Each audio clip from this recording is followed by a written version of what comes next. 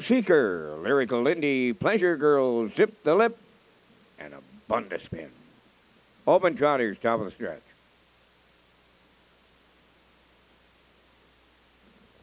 Here they come. They're up and trotting. Pleasure Girls, Thrill Seeker, Salzbrook Balance, leaving out. Zip the Lip is fourth into the turn. Honeymoon is over fifth.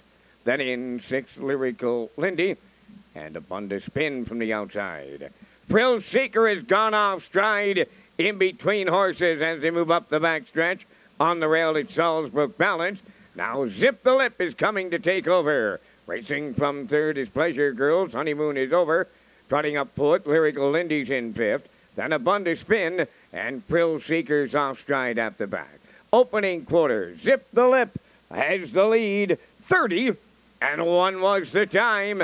Second is Salzbrook Balance, all alone in third. That's Pleasure Girls. Honeymoon is over, trots up fourth. Lyrical Lindy's in fifth, followed then by a Bunda spin. Thrill Seeker cannot find his trot, continuing to run at the back. They move towards the half. Zip the Lip and Brian McPhee are halfway home. Second is Salzbrook Balance, continuing third.